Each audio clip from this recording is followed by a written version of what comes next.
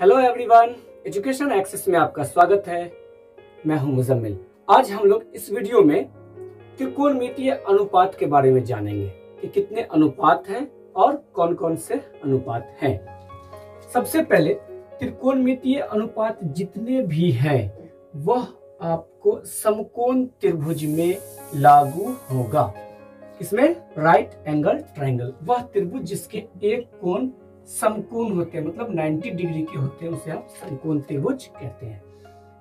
अगर कोई त्रिभुज, समकोण त्रिभुज नहीं है, वहाँ पर भी अगर मुझे त्रिकोणमितीय अनुपात अगर लगाना है तो हमें सबसे पहले लंब डालना ही होगा। ठीक है?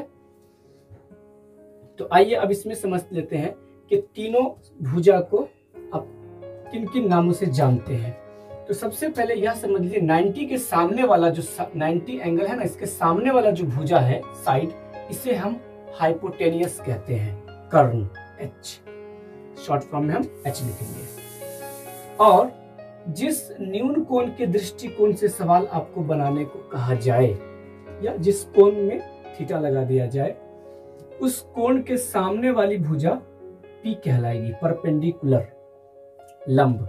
बाकी तीसरी भुजा जो बची, वो बेस। ठीक है? इसे ही हम ऐसे भी लिख सकते हैं। एक समकोण त्रिभुज ले लिए, जिसमें कोण भी 90 डिग्री है। तो फिर कर्ण तो फिक्स है कि 90 के सामने वाला भुजा होगा। अब अगर इसे थीटा मान लिया गया हो तो दिस टाइम क्या होगा? थीटा के सामने वाली भुजा पी मीन्स अब ये पी होगा बी ए होगा। ठीक है? तो इन्हीं तीनों भुजा के बीच जितने भी अनुपात पॉसिबल हैं, वह त्रिकोणमितीय ही अनुपात तो कहलाते हैं। तो कुल छह हैं। कितने हैं? कुल छह त्रिकोणमितीय अनुपात है। सबसे पहला त्रिकोणमितीय अनुपात है साइन थीटा ठीक है? तो साइन थीटा बराबर होता है पी बाई एच मतलब पी और एच के बीच का जो रेशियो होता है, वो साइन थीटा कहलाता है।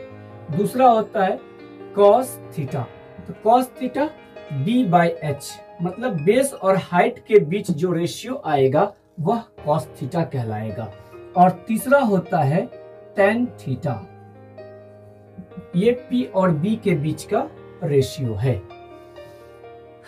अगर ये तीनों याद है तो बिल्कुल इसका रेसिप्रोकल कर दे, व्युतक्रम मतलब चार चार नंबर में। साइन का उल्टा मतलब व्युतक्रम हो जाएगा कॉसेक थीटा एच ऊपर पी नीचे है मतलब एच बाई पी तो कॉसे का क्या हो जाएगा? सिक थीटा सिक थीटा क्या है? एच और बी के बीच का रेशियो है। एच और बी के बीच का रेशियो क्या हो जाएगा? सिक थीटा और छठा नंबर और लास्ट रेशियो क्या है? कॉट थीटा जो के बराबर होता है बी बाई पी के। इसको आप अच्छे से याद कर लें।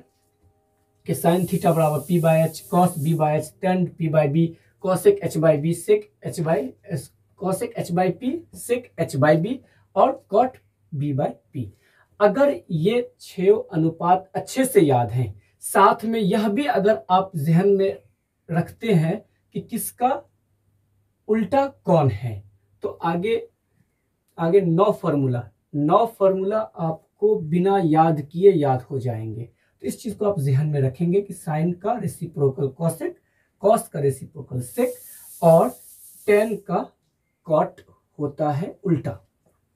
ठीक है? फ़िलहाल इस वीडियो में यही। और आगे हम फिर जो दूसरा फॉर्मूला है वो लेकर आते हैं नेक्स्ट वीडियो में। ठीक है?